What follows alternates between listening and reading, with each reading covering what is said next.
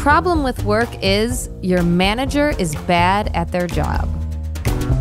My name is Kadeem Peters. I've middle managed. I'll say that it wasn't difficult, but I wasn't trained at first.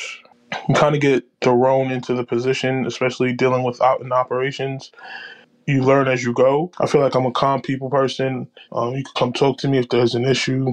The first time I was managing a group of two cleaners, a mailman, and the front desk office uh, receptionist. We had an issue with the two cleaners, which I felt wasn't an issue. One worked morning shift, one worked night.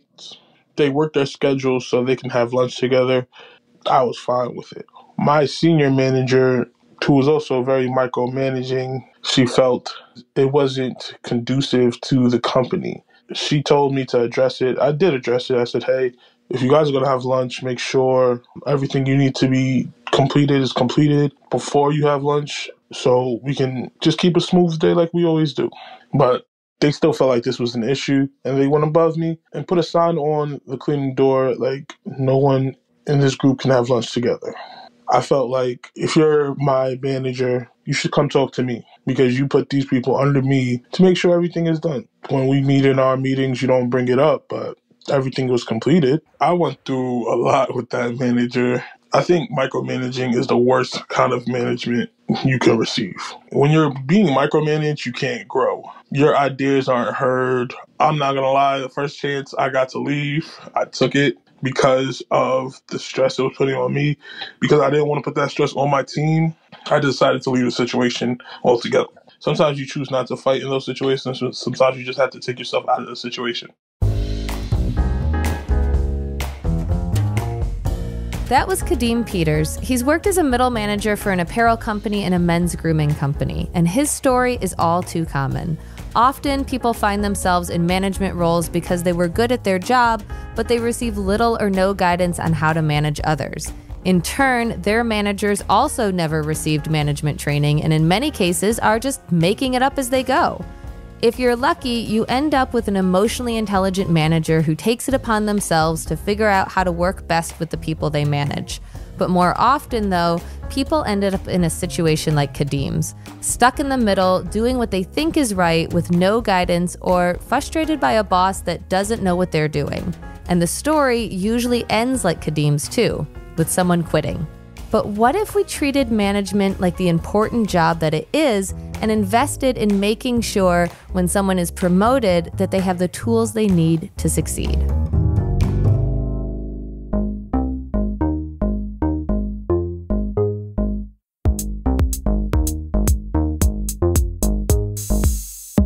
Is Fast Company's The New Way We Work, where we take listeners on a journey through the changing landscape of our work lives and explain exactly what we need to build the future we want. I'm Fast Company Deputy Editor Kathleen Davis.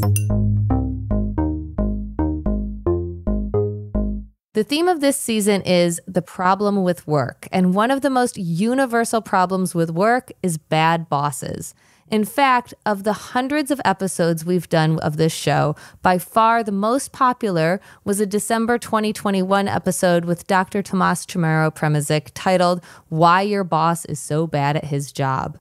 In that episode, Dr. Chamorro Premuzic detailed how, as a society, we associate personality characteristics like charisma with leadership skills when it's often a sign of narcissism we focus so much on style and so little on substance. You know a lot of the times when we see people who are charming and they're fearless and they come across as charismatic that also accidentally selects for a lot of narcissistic individuals. Not that if you are charming charismatic comfortable in social scenarios you are necessarily narcissistic but a lot of narcissistic individuals and psychopathic individuals they're very charming in short-term interactions. They are fearless um, they are performers they're very shrewd when it comes to manipulating others and saying, you know, pressing the right buttons.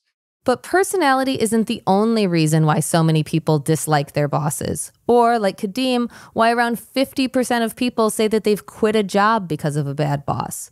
So, why are so many managers unable to effectively manage? And is there a way to learn how to be a better manager? To help me answer those questions and more is Lia Bosch. Lia is the founder, managing partner, and coach of Thrive People Strategies, a consulting firm that helps to make a productive and motivating work environment. So let's talk about our experience as managers first. I'll tell you mine if you tell me yours. How long ago did you first become a manager and what was it like? What was the learning curve like for you? Was did you get any training, mentorship, support, mistakes you made along the way? Well, Kate, you're taking me back um, more than 30 years now, and it was a pretty scary experience. It was exciting, but it was scary in the sense that um, I was young. I was working with a bunch of my colleagues who were friends prior to having been promoted into that role. So I was in a situation where I was certainly concerned about how they were going to receive me as their manager. I had some great mentors. The training was pretty much on the job as I became a more experienced manager, I did have opportunities to develop my management skills, not only through some formal programs, but also through my education in the organizational effectiveness field. And so I feel that uh, certainly I've grown quite a bit since that first experience. How about you? Yeah, I, I, said I would I would tell you mine. I think I mean you had a unique. It sounds like you had some imposter syndrome in there, which I totally relate to, and I think a lot of people relate to, especially when you're a first time manager. You might have that like, oh my god, do I really deserve this? How did I get here? Are they going to think I'm a fraud? Um, but you, I think like me, had a unique position of being in in the field of HR and like kind of being in it. And I think that really helped me. So my first management experience was I kind of think it's like management training wheels. I managed interns and freelancers first before I became like a staff manager. And I think that that, you know, kind of helped me like dip my toes into the management water. So that helped. And then I think a really, really big benefit for me as a manager is the fact that uh, I cover this stuff all the time. I'm managing people while writing and editing about management and getting all of this advice. So I really kind of have yes on the job training like you said but you know i'm kind of seeped in this topic in a way that a lot of people obviously aren't and have to hopefully come to podcasts like this or, or fast company articles to try to you know get that information. But what do you think there kind of are common experiences of first time managers and how do they find themselves in the role and, and how prepared are they? And what is it like to be a first time manager that is just kind of thrown into it? Typically brought in in situations where there's a new new manager who has been thrown into a situation because there's been an open position or they've been very uh, productive as an individual contributor, have been very impactful in the organization. And so the company assumes that the individual is ready to move into a manager role. And so they throw them in that situation without giving them enough preparation for the role in terms of how the role is different than their, their individual contributor role there are expectations uh, that are set for the individual that um, even the individual is just trying to figure out how how it all works. And so a lot of that i see happening. And since i work with small organizations primarily there's limited uh, money available for for sending them off on a program which isn't necessarily what i suggest doing right away. I think new managers need an opportunity to get the experience before they can understand the role of a manager. It gives them an opportunity to get the experience with um, employees that they're working with so that they can get appropriate feedback on how they're performing, how they're managing others, how they're coming across, etc. A large part of the learning of a new manager is around getting that feedback and understanding how you impact others what you said, you know, of of being promoted because you're a good individual contributor, I think you're right, is so so common. This is how it works a lot and, you know, doing well in your job and the, the more you kind of get promoted, the further you get promoted away from the thing that you are doing and you default into management and management itself is its own skill set and maybe separate from the skill set that you had as a, as a good indi- uh, you know individual contributor as you say and and you know also not for everybody but I mentioned the statistic that about half of people who have quit a job have done so because of their manager. So that means that there's a lot of managers out there who are not so great at their jobs. Why is that? Why are so many managers either bad or at least ineffective at their jobs? I think there are several reasons for that. Um, we've talked about the first one in terms of being thrown into a role without having enough uh, preparation for it or enough um, discussion with the senior leaders as to what is expected of them in that role. Preparation takes time as well. Organizations aren't necessarily looking at their talent and planning for those open roles. I think in today's environment where everybody's running around like crazy trying to get things accomplished, have high goals, high expectations, organizations are just run ragged trying to just accomplish what is on their plate today rather than thinking about the future, understanding that we have these employees today who are happy, healthy, and with us and excited to be here, but they may not be here for as long as we think they're going to be here. So there's no succession planning that's being thought through and in terms of what kind of skills and knowledge is going to be required with all the change that's going on. What we find ourselves doing is hiring managers who we think will learn on the job and will take us through these um, rough patches in our organization without thinking about how to ease them into and support them in their role. Once you're a manager in many organizations, you're just expected to come to the meetings and figure out how things work by observing and participating rather than having a mentor or coach or someone who can help that manager actually look at their own behavior be, become more self-aware understand what the role is of, manage, of a manager how that fits into the organization because traditional roles or the, there isn't really i think a standard definition of here's what a manager is and does nowadays things are so different. You need to be able to adapt that to your own organization. And so there isn't enough of that helping the manager become the best person that they can be in that role. So that's i think why why we have what we call so many bad managers. I don't think their intentions are to be bad. If they find themselves in a situation where the environment that's been created for them doesn't allow them to succeed Let's dig kind of more into what you're talking about about how I loved what you said about this succession plan in place that it is kind of like, oh no, this is vacant, this position's vacant, how do we fill it? But what are some other kind of factors that that go into who's getting placed in these management roles and are we looking at maybe the wrong things? You know, are the are the factors that we are looking for when we hire managers or promote people into management roles the wrong ones. And also maybe does does office culture play into that at all?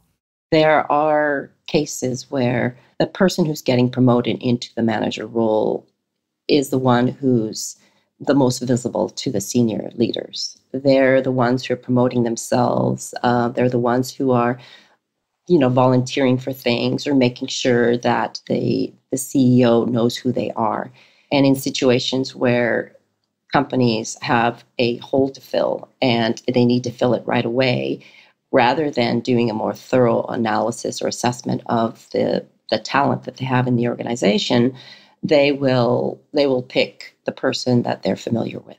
So you do get into situations where the person who's promoted to the role is the one who was best at self promoting rather than the best person for the job what employees will do is look around and say, oh, if the company's promoting a- into management roles these types of people, then maybe I don't belong here. Maybe I need to go elsewhere where they'll recognize me for my talents and skills rather than my showing up and being visible in whatever way that they try to create that uh, visibility. And when you're saying that, obviously, you know, I'm thinking of that's the the kind of the confirmation bias of this is the type of person that's been a manager before, so this is the type of person that should be a manager, and it just kind of becomes a self fulfilling prophecy, and you know that's how we end up with more CEOs named John than we do, you know, women and people of color. It's just kind of you just keep getting the same sort of person because you decide that that's what a manager looks like. And to your point,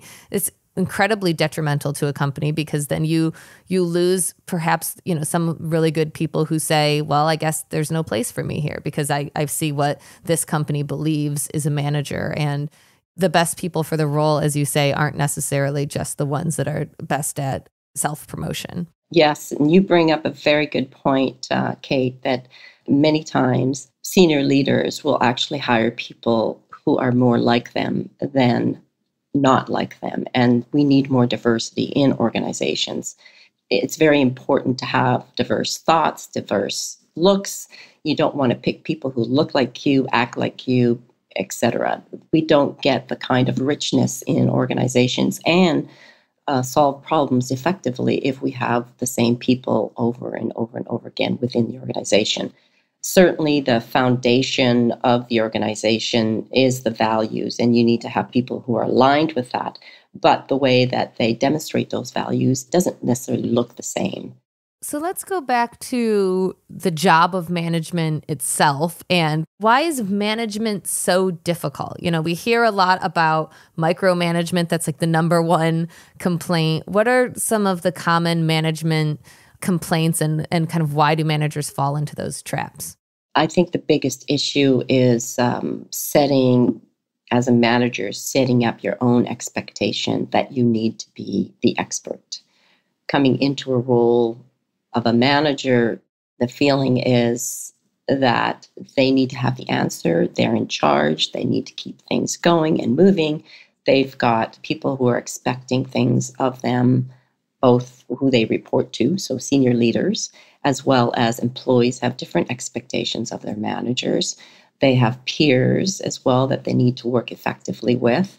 And so there's this um, sense that they can't make any wrong moves having achieved a certain level within the organization, those people don't want to lose that opportunity, don't want to lose that position. And so there's this uh, sense of needing to be the expert instead of letting that go and understanding that they are in a position where they're continuously learning and they're a problem solver. They're they're helping their people become successful in their roles. They can't get the work done on their own anymore. They have to work with people and, and get the work done through people. And so their focus needs to move from being the expert to being more of a facilitator or a coach to their employees.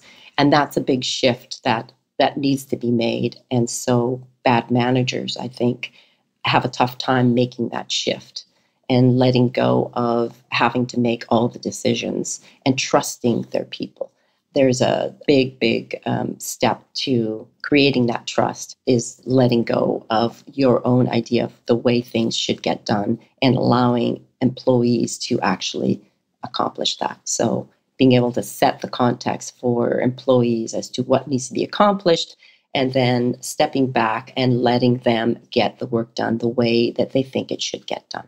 But I always think like really good managers hire people or or have people on their team that they know are smart, that they know are capable adults and tell them, you know, what they need to know and then get out of their way and trust them to do it the way that, you know, maybe is not their way but gets it done. And that you know that sense of you know on the other side of of people always complain about micromanagers the other side of what people really value at work autonomy is a huge part of it. And feeling that your boss trusts you to to do your job without looking over their shoulder i think is is as you say is really really important. Those are critical to effective management. And i uh, believe that with um, managers they don't necessarily know how to accomplish that and so the key things to try and, and get at those would be to for managers to be able to set the context uh, for them and provide focus. So, being more outcomes uh, focused instead of micromanaging. I think w- what happens, we, we heard in Kadeem's uh, situation earlier in the story that he was upset that his manager came in and put up a sign telling people that um, they couldn't have lunch together, the employees couldn't have lunch together. I think there's definitely something that was missing in that relationship and conversation between the manager and Kadeem he didn't understand the context of why that was required of them not to meet. It seemed a, a, little amiss for me because you want employees to get to know each other and develop a relationship and trust. And so that manager didn't do a very good job of uh, helping Kadeem understand why it is that she wanted things to be that way, didn't do a good job of the expectations of also describing to him or discussing with him the expectations around that. And so allowing people to be autonomous, there's definitely some hesitation on a manager's part because they feel like they're losing control of the situation. So, how do they step back and keep that sense of trust in their employees? Well, they need to do that by being able to, as I said, set the context for the individual. Why is it that we're doing these things in the organization? How do you personally connect to the outcomes and goals of the organization? And then having that understanding, you can allow people to figure out the way that they believe is best to accomplish those goals and those objectives and those outcomes. And of course, we need to have expectations because every organization has limitations, whether it's financial, legal, physical limitations, etc. And so, being very clear about the kind of expectations that um, that we all need to live within and boundaries we need to live within, then can give managers a little more comfort that people can go off and do things and they all are are working in the same direction. They're working towards the same goal, but doing it the way that is best done based on their particular situation and how they see the world. Previous time when we talked, I think you you put it a really great way. I'm going to paraphrase you to you. Great managers explain the why and let their employees figure out the how. So it's that like giving them that that clear communication, you know, I'm like you know taking mental notes of the things that you're saying that that kind of that clear communication of why we're doing this, why, you know, in Kadeem's story, why you know you don't feel that the people can take the lunch at the same time. Like if there was an actual reason behind it and you explained that reason that would make the you know make them feel better about understanding that you know as opposed to just being dictated to. The clear communication as to the why and then let them figure out the how to get there. And that can extend you know as you're saying like, like that can extend to allowing flexibility in your workday. That can extend to just like having that trust. So it's that clear communication that trust. And then I think another part that, that we haven't touched on that you mentioned in your article was having empathy, you know, that viewing that people that work for you are people that are, you know, you you want to get to know them and understand their lives and and not just we're not just like work robots that get the job done and that's it. Absolutely. The relationship is one of the most important foundations of managing others, managing your relationships, not just people who report to you, but also your colleagues. And I think that that's the piece that managers need to focus more on. And it's um, 75% of their job as a manager. The 25 technical piece, 25% technical piece that they continue to bring with them, of course, needs to get done. But the 75%, they should be focusing on developing that relationship with their employees which to me means understanding how they like to work, what stresses them, what doesn't, getting to know them a little more personally as well about their families and their particular situations because you need to be able to put yourself in their shoes to support them in being the best employee and best workers that they can. Absolutely, the relationship piece is the foundation to creating that trust and letting them then do the how that's an important part that I think a lot of people would be maybe surprised to hear, but it's so true is that when you're a manager, as you said, 75% of your job is management and only 25% is that you know whatever your field is the technical skills that maybe got you promoted to be a manager in the first place. But management itself is such an important job that you shouldn't be it shouldn't be a side hustle to your regular job which i think a lot of people end up viewing it as kind of one obvious solution to both bad management and kind of a lack of experience in ending up in a management role is management training.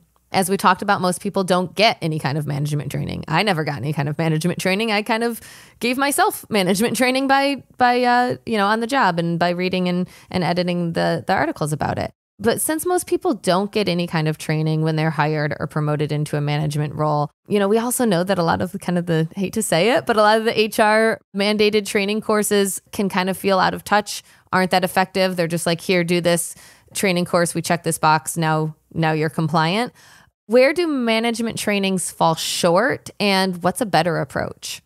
The mandated management training programs are definitely an issue in organizations, especially if they're driven by the HR team. Um, that's that's my experience because it's not considered to be part of the strategic priority of an organization. Um, there are some really good programs out there that teach you the basics of management, and um, I think would be very valuable for organizations to look towards to bring into their company and use it more strategically as part of developing their people such as the Center for Creative Leadership. They have a great program. Um, the Clifton, the Gallup Clifton Strengths has a boss to coach program that's also wonderful. And so the problem, though, becomes when organizations do the one off. And so I used to have um, senior leader I worked with who, when he ran into issues with uh, his employees, he'd come to me and say, Hey, can we send this guy to charm school? And I would always say to him, That's it's not the way to look at it, that we don't just send people on a one off. The organization needs to make management development, employee development a priority, a strategic priority, because our future depends on the skills and the knowledge that these individuals need to have. And so, a more appropriate way to handle management development programs is to do your homework look at the different programs that are available out there if if you want to go with something that's sort of pre-designed if you have the luxury of having an internal strategic hr person who can help design some of the the pieces of that program, then doing it internally is is definitely wonderful. Or having that HR manager team up with an external consultant, an external facilitator from that program, bring it into the organization, modify it so that it specifically gets at the at the values and at the skills and and um, expertise that are needed in the organization. And so I advocate more for coaching having mentors for your new managers, encouraging them to get mentors even outside the organization, ideally inside, because you want to make sure that there's some consistency with the values and the culture. But um, having also investing in some coaching so that individual managers get what they specifically need within the context of the environment, of their own organizational environment. And you're going to get a bigger bang for your buck the one very important piece of management development programs that I think bring the biggest value is the feedback piece. All of the great programs have a large segment of the curriculum that looks at creating self awareness. And the way you create self awareness is to get feedback from your managers, from your peers, from your direct reports, and sometimes from external stakeholders. It could be a board of directors, uh, it could be a customer, etc. So having the opportunity to understand how you personally impact others around you who you work with is a real gift. And um, many of us, as new managers, go into it with a lot of trepidation. We don't know how people are going to score us on some of these instruments or these assessments. But what comes out of it is some great transformations. And so those are the, the gems within the management development programs. My preferred approach is to take bits and pieces of that or bring the, the program into the organization and make it yours, making sure that more than just one person goes off to a program. We can't expect them to come back into the organization and be totally different they don't have the support, they don't have the context to apply some of those new skills if you don't have enough people in the organization who come from the same context, have the same background um, opportunity for that. Yeah, it sounds like there's the, you know, the ideal world, you know, where you have this kind of comprehensive training and then the kind of follow up afterwards. And then what's more likely to probably happen at a lot of companies is the one off that's not effective. But if, you know, somebody's listening and they're like, this is not in that kind of comprehensive approach isn't in, in our budget is isn't realistic for us, or if somebody's is a manager who feels kind of unsupported, it sounds like you know some of the the steps you can take is finding a mentor within your organization or without side of your organization. And the getting the feedback part is really important. And i know really kind of difficult to get honest and actionable feedback especially from your direct reports if you're a manager. You know on the other side of that if you're an employee and you you have a manager that that needs to improve kind of what what's your advice for people on both sides wanting to get that that feedback and how do they go about getting that feedback well as a manager definitely making feedback a part of your day-to-day work is important so that employees feel comfortable bringing that information forward. Uh, for instance, even making sure that as part of your meetings, at the end of your meetings, you ask, what went well today at a meeting, at our meeting, and what should we do differently going forward? So, asking those questions on an ongoing basis as part of the work that you do gives um, people permission to actually come forward with their ideas. The other piece around giving feedback that I find helpful is making it future focused rather than hashing over the past and what went wrong. It's looking at what can we do differently going forward that would be most effective, that would provide the biggest bang for our buck, etc. But it's focused on what you can do differently going forward rather than what you should have done in the past. When you start looking at the past, then people feel like fingers are being pointed at them versus uh, looking at what could be done more effectively going forward.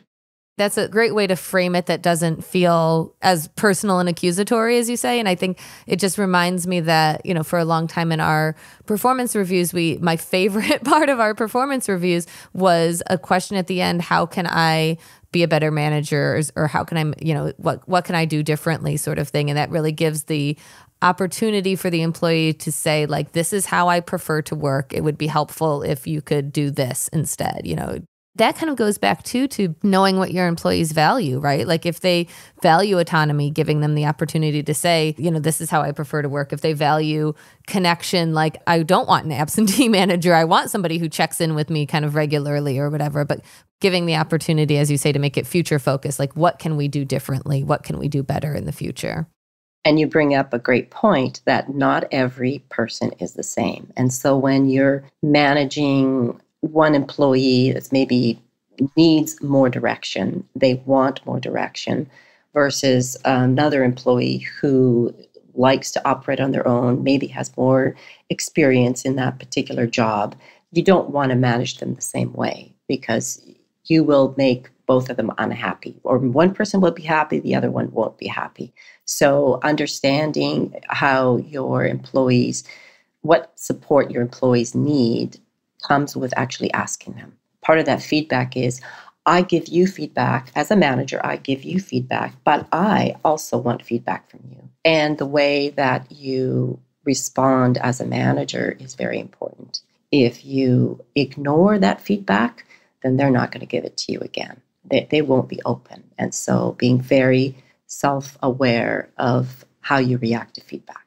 For employees providing feedback to their managers, again, keep it future focused and talk about it in terms of the support that you need from them rather than telling them they're a bad boss and I wish you did this, this, and that.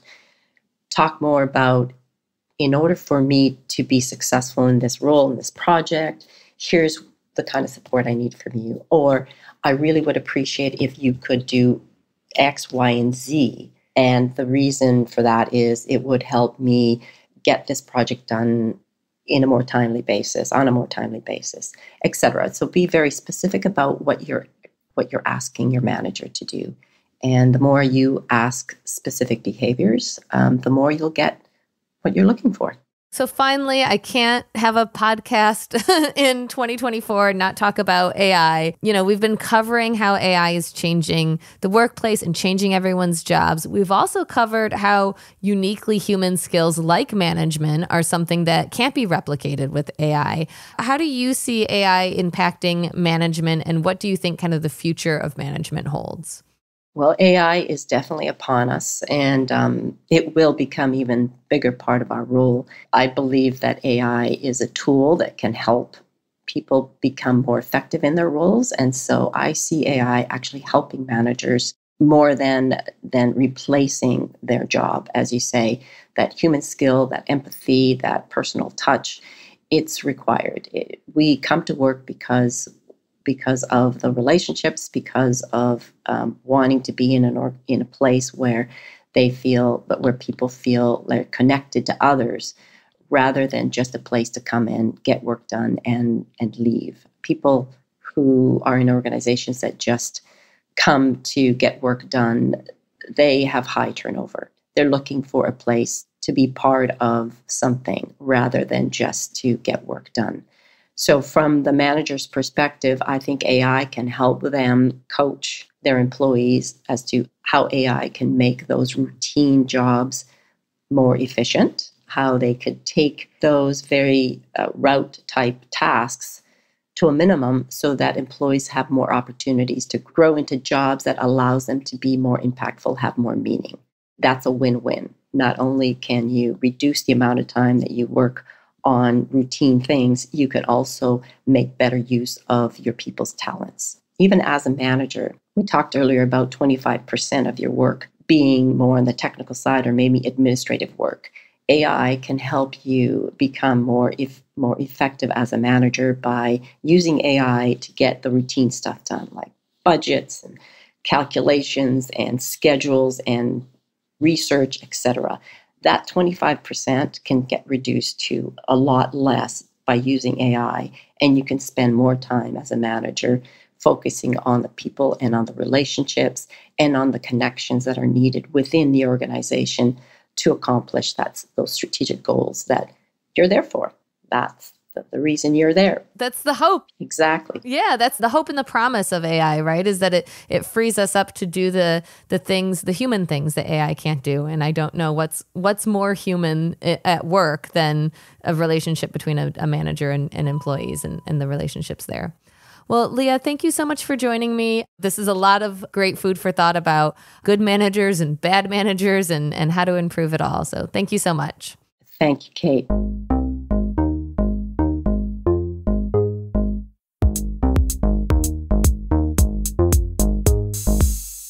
And that's all for this episode. If you're a new listener, be sure to subscribe to The New Way We Work wherever you listen. And if you like this episode, leave us a rating and review on Apple Podcasts.